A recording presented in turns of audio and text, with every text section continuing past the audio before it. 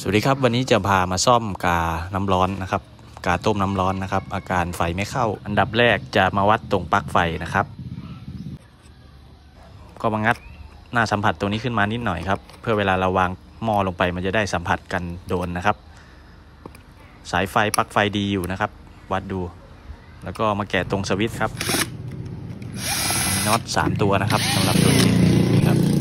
ก็แกะออกมาเลย มาเช็คดูสวิตช์ครับ วัดตรงขั้วแล้วขึ้นอยู่นะครับ นี่ครับ วัดตรงขั้วสวิตแล้วมันยังขึ้นอยู่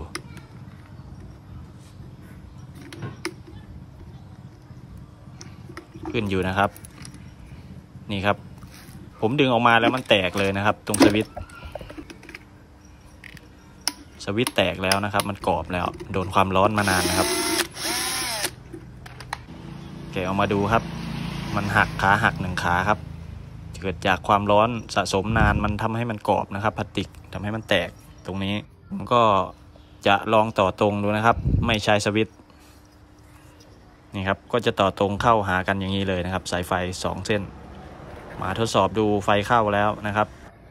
มาทดสอบใส่น้ำดูก็ใช้งานได้ปกตินะครับ น้ำเดือดแล้ว เวลาน้ำเดือดก็จะยกออกอย่างนี้นะครับ ไม่ผ่านสวิตช์นะครับ ของที่เขาทิ้งแล้วนะครับ ก็เอามาซ่อมเอา